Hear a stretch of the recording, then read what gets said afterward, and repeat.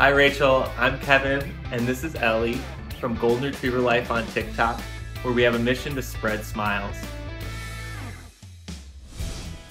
Before Ellie was in the picture, I was a former Army helicopter pilot deployed overseas, and our unit had this dog named Zach attached to it.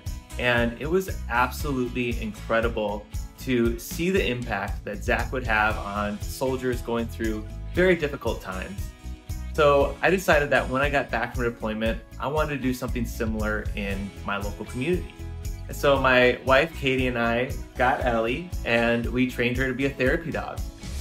Ellie volunteers at schools, hospitals, nursing homes, promoting and increasing the physical, mental, and emotional well-being of others.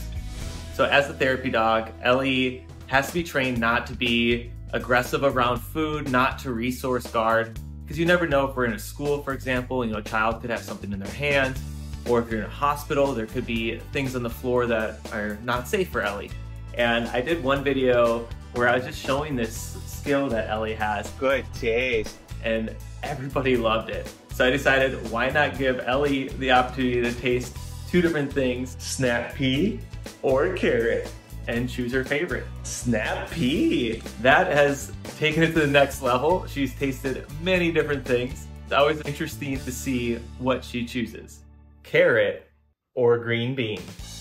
You can taste it. Good taste. Taste. All right, let's see which vegetable. Take it. Carrot! You were looking at the green bean.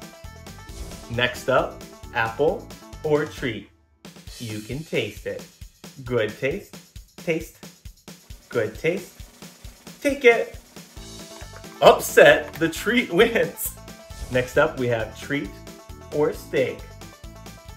Taste. Good taste. Taste.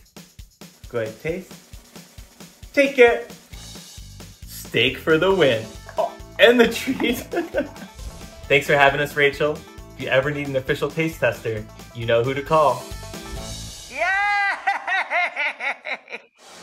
What an adorable, adorable segment.